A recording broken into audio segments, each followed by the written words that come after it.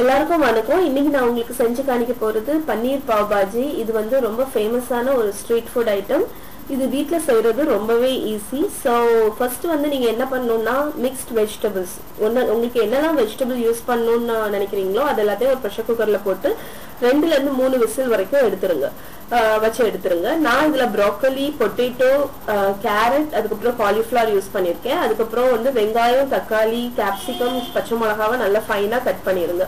ஒரு பேன்ல வந்து லைட்டா எண்ணெய் ஊத்தி ஹீட் பண்ணிட்டு ஜீரகம் போட்டு அது நல்லா ஃப்ரை ஆன உடனே வெங்காயம் கேப்சிகம் பச்சை மிளகாவை போட்டு அதை நல்லா சாட்டே பண்ணிடுங்க. இது ஒரு five four to five minutes நல்லா கோல்டன் ஆகிற வரைக்கும் சாட்டே பண்ணிட்டு அதில் இஞ்சி பூண்டு பேஸ்ட் போட்டுக்கோங்க. அதுக்கப்புறம் அந்த இதை வந்து நான் ஒரு ஒன் டு டூ மினிட்ஸ் நல்லா வசக்குனீங்கன்னா அந்த ரா ஸ்மெல் போயிடும். அதுக்கப்புறம் நல் நறுக்கி வச்ச ஃபைனா நறுக்கி வச்ச டொமேட்டோ ஆட் பண்ணிக்கோங்க. அதுல கொஞ்சம் சால்ட் வந்து போட்டுக்கோங்க. அப்போ அந்த டொமேட்டோஸ் வந்து ஃபாஸ்டா குக் ஆயிடும். இப்போ நான் இதுல கொஞ்சம் மஞ்சள் பொடி போட்டிருக்கேன். கலருக்கு வேண்டி. இப்போ இது எல்லாத்தையும் நல்லா சாட்டே பண்ணிடுங்க. அதுக்கப்புறம் இந்த ஒரு ஃபைவ்ல இருந்து சிக்ஸ் மினிட்ஸ் குக் பண்ணீங்கன்னா அந்த டொமேட்டோஸ் வந்து கம்ப்ளீட்டா மேஷ் ஆயிரும். அது நல்ல மேஷ் ஆன உடனே நீங்க பாவ்பாஜி மசாலா பவுடர் வந்து ஆட் பண்ணிக்கோங்க.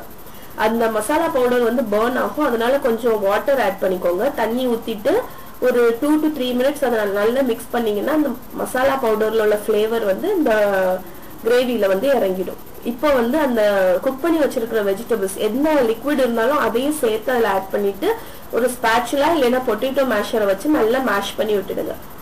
அது இப்படிதான் இருக்கும். ஸோ இப்போ இதே மாதிரியே நீங்க விட்டுடலாம். உங்களுக்கு ஸ்பைஸ் போதும்னா நான் கொஞ்சம் கலருக்கு வேண்டி காஷ்மீரி சில்லி பவுடர் வந்து கொஞ்சம் ஆட் பண்ணியிருக்கேன் அதுக்கப்புறம் அதை நல்லா மிக்ஸ் பண்ணிடுங்க. இப்போ வந்து கடைசியா நீங்க வந்து ஃபைனாட்டு நம்ம பொடிசா கட் பண்ணி வச்சிருக்கிற பன்னீர் கியூப்ஸை வந்து இதுல ஆட் பண்ணிட்டு ஒரு ஃபைவ்ல இருந்து டென் மினிட்ஸ் நீங்க வந்து லோ ஃபிளேம்ல சிம்மர் பண்ணிடுங்க. இப்போ வந்து உங்க பாவ்பாஜி மசாலா டன் ஃபைனல் ஆட்டு கொஞ்சம் கொத்தமல்லி கீரையும் லெமன் ஜூஸும் இதுல ஆட் பண்ணீங்கன்னா அவ்வளவுதான். உங்க பாவ்பாஜி அந்த மசாலா வந்து ரெடி ஆயிடுச்சு. இப்போ இதை எப்படி சர்வ் பண்ணலாம்னு பார்க்கலாம்.